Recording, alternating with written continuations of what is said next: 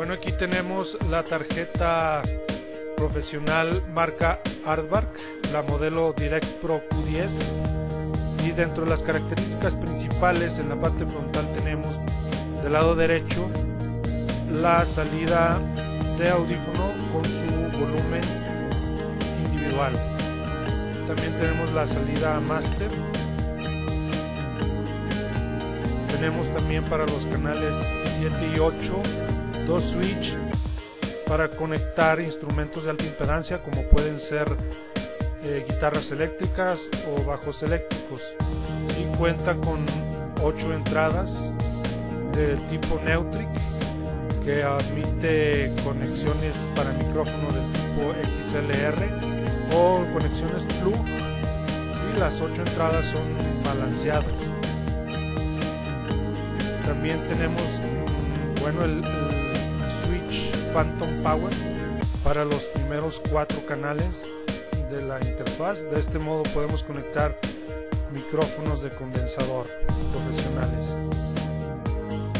La tarjeta de audio en sí está totalmente sellada. Esta es la tarjeta que va directamente conectada a la tarjeta madre de la computadora a través de un puerto PCI la conexión física entre la tarjeta de audio y la interfaz de conexiones es a través de este cable de datos que estamos viendo aquí.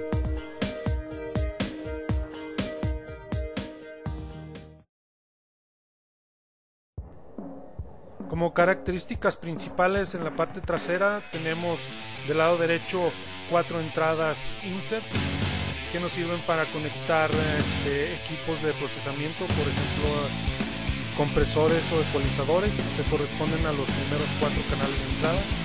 También tenemos ocho salidas individuales que se corresponden a cada uno de los canales de entrada. Podemos hacer con diferentes ruteos para enviar señales individuales a las salidas.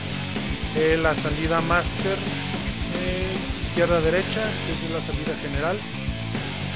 También tenemos una entrada y una salida digital del tipo SPDIF eh, con un cable RCA. Estos son entrada y salida digital estéreo. También tenemos conectores del tipo BNC que nos permiten conectar eh, con otros equipos digitales para que se puedan sincronizar.